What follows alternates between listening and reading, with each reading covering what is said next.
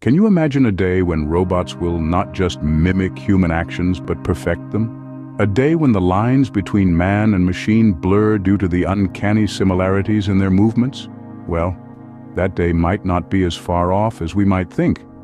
Welcome to the future of robotics. Just yesterday, Boston Dynamics announced the retirement of its hydraulic robot, the Atlas.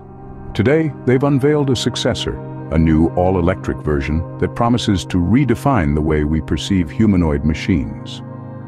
This next-generation Atlas robot is designed to offer a far greater range of movement than its predecessor. The Atlas, the world's most dynamic humanoid robot, has always been at the forefront of robotics technology. Now, the all-electric Atlas continues that legacy.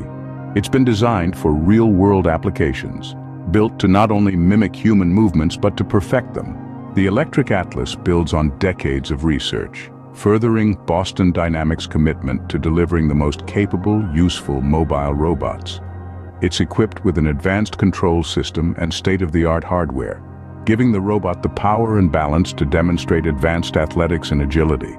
This is not just a step forward, but a giant leap into the future of commercial electric robotics. It marks a new era, an era where robots are not just machines but agile, efficient and dynamic entities capable of actions that once seemed exclusive to humans. To summarize, the all-electric Atlas robot stands as an emblem of the future, a future where robots are more than just machines.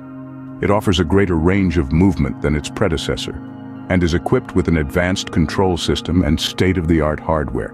It's a testament to the potential of robotics, a hint of the incredible future that lies ahead.